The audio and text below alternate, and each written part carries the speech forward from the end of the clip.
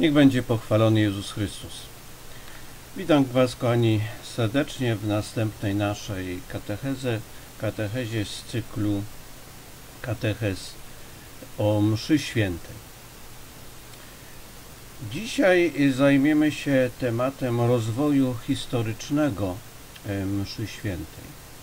Nikt chyba z Was e, nie ma wątpliwości, że msza święta, w jakiej my obecnie uczestniczymy, no różni się znacząco od tej, e, w której uczestniczyli pierwsi chrześcijanie, tak jak była ona sprawowana w pierwszych wiekach.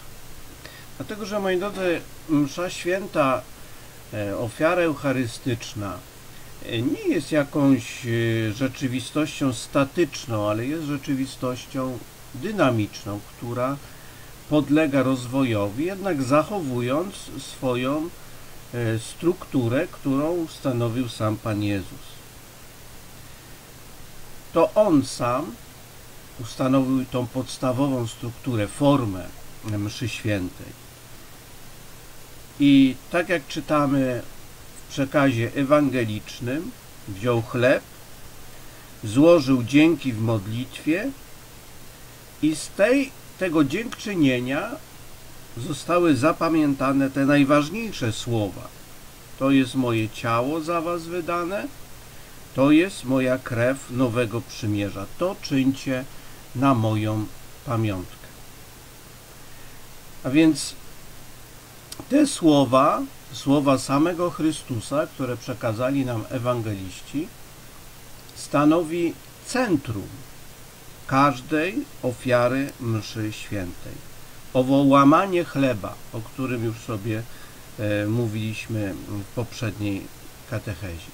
To łamanie chleba, te słowa Chrystusa nazywają się inaczej e, konsekracją. I dzisiaj te słowa stanowią tą podstawową, fundamentalną część tak zwanej liturgii eucharystycznej. Liturgia eucharystyczna, moi drodzy, zachowała dwa podstawy, znaczy cała msza święta zachowała dwa podstawowe elementy. Liturgię słowa i liturgię eucharystyczną. I tak było też i w pierwszych wiekach, kiedy gromadzili się chrześcijanie na łamanie chleba, to najpierw czytano fragmenty Ewangelii, które już wtedy powstawały, czytano listy apostołów, którzy ci przysyłali do poszczególnych gmin chrześcijańskich, a następno zasiadano za stół i łamano chleb. Oczywiście ta msza nie miała takiej formy jak dzisiaj. Odprawiano ją w zwyczajnych, codziennych szatach, szatach, w których się posługiwano na co dzień. Nie były one tak piękne, tak ozdobne, jak one są teraz. To dopiero przyszło z czasem. Pamiętajmy, że pierwsi chrześcijanie to byli judeo-chrześcijanie, czyli nawróceni Żydzi na chrześcijaństwo. I zachowali oni formy, zachowali tradycje, jakie były obecne wśród Żydów.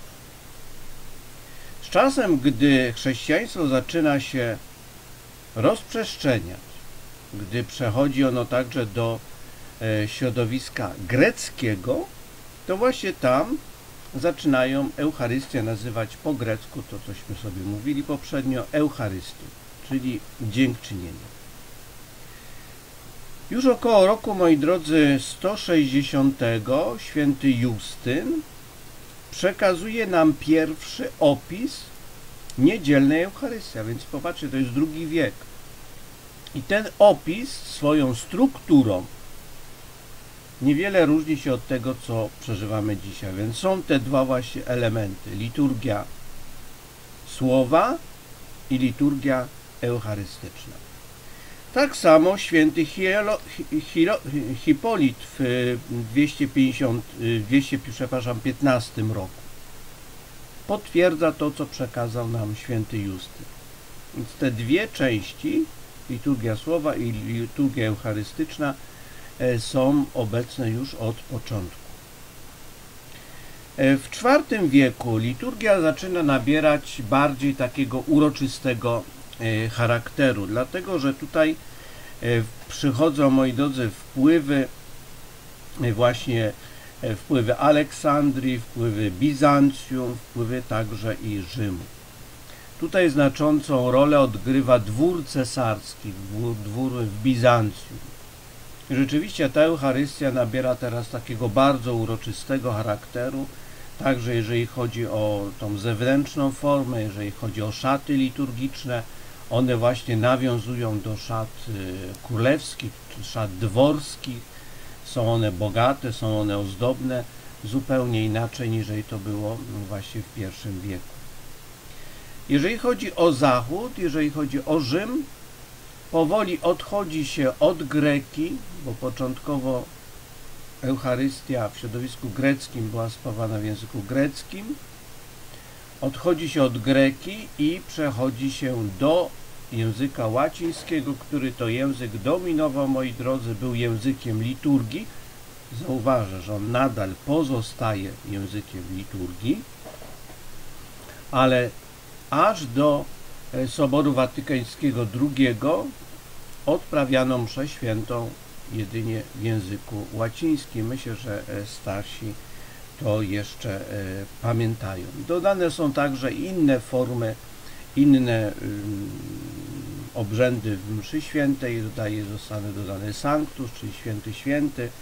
Zostaje dodana do liturgii mszy świętej także modlitwa Ojcze Nasz. A więc widzimy, że ta e, struktura mszy świętej się rozwija, zostaje e, ubogacona. Piąty, siódmy wiek, moi drodzy, pojawiają się już pierwsze e, księgi liturgiczne a więc pojawiają się lekcjonarze, które zawierają właśnie określone czytania mszalne Starego, Nowego Testamentu, przede wszystkim Ewangelie. Pojawiają się tak zwane sakramentarze, czyli zbiory modlitw oraz tak zwane graduały, czyli byśmy dzisiaj powiedzieli prostym językiem śpiewniki. Te, które zawierały, księgi, które zawierały śpiewy liturgiczne. E, siódmy, moi drodzy, dziewiąty wiek e, zanika też komunia święta pod dwoma postaciami. Niektórzy e, tutaj szczególnie w naszym środowisku, kiedy my na Ukrainie no, żyjemy wśród prawosławnych, których Eucharystia jest zawsze udzielana pod dwoma postaciami, nieraz pytają, dlaczego u nas bywa, że pod jedno. Chociaż jak wiemy na Ukrainie jest e, pozwolenie biskupów, zachęta biskupów, aby udzielać Komunii Świętej pod dwoma postaciami. I ta, i ta forma jest właściwa i jest dopuszczalna. Niemniej jednak właśnie VII-IX e, wiek zanika komunia pod dwoma postaciami. Podawanie krwi pańskiej z kielicha, a podaje się komunię świętą pod jedną postacią, pod postacią chleba.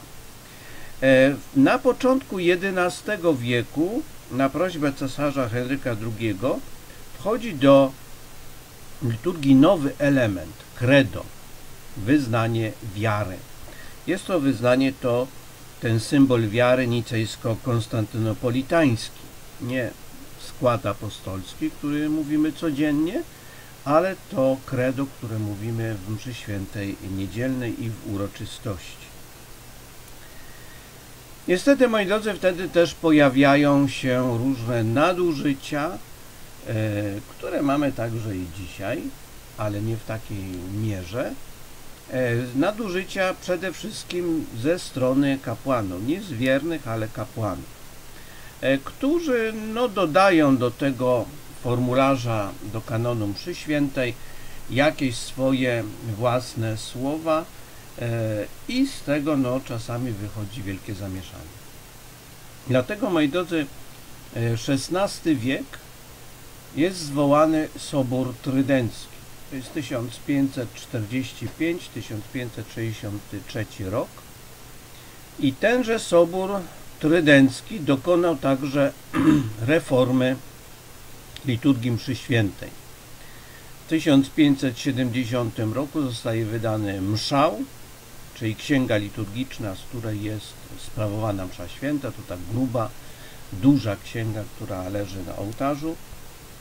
I tenże mszał wyraźnie wskazuje, pokazuje, jak Eucharystia, jak msza święta ma być sprawowana.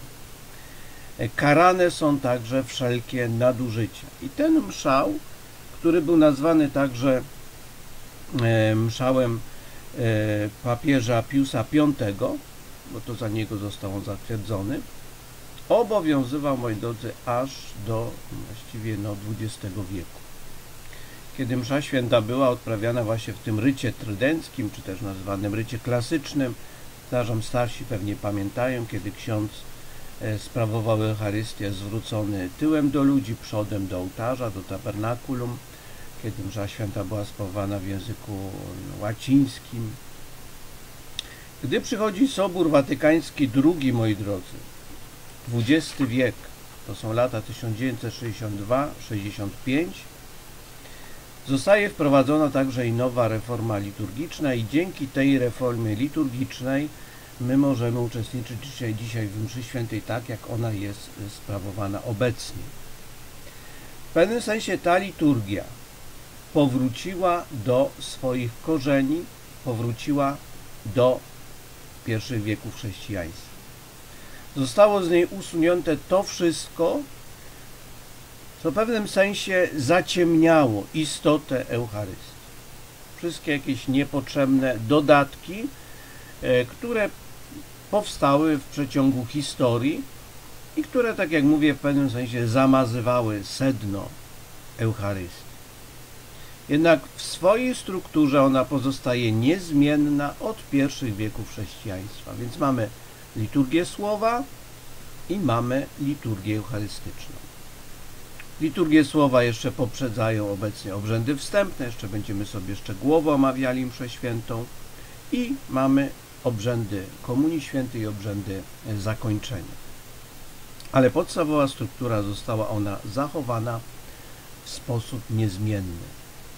To, co mówiłem, moi drodzy, w pierwszej katechezie, tylko tak ważne jest, abyśmy właśnie przez właściwe sprawowanie e, mszy świętej, poprzez właściwy nasz także i udział, właśnie wyrażali tą naszą jedność z całym Kościołem.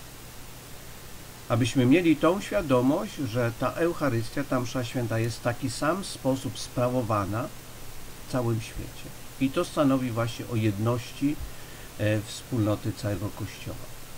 Jeżeli ktoś na własną rękę, z różnych pewnie przyczyn, zaczyna dodawać jakieś swoje, e, no powiedzmy, widzimy się do tej Eucharystii, do czego nie ma w mszale, do czego nie ma w obrzędach. Zaczyna stosować jakieś gesty, które też e, nie są gestami Jego, no to niech się poważnie zastanowi, czy chce sprawować tę Eucharystię, czy ją sprawuje, czy uczestniczy w niej w jedności z całym Kościołem, czy zaczyna tworzyć w pewnym sensie no, jakąś swoją własną liturgię. E, ten cały rozwój liturgii mszy świętej miał właśnie zawsze na celu to, aby w centrum tej liturgii był Chrystus i aby była podkreślona jedność całego Kościoła, jedność całej wspólnoty Kościoła. Niech będzie pochwalony Jezus Chrystus. Życzę Wam miłego dnia.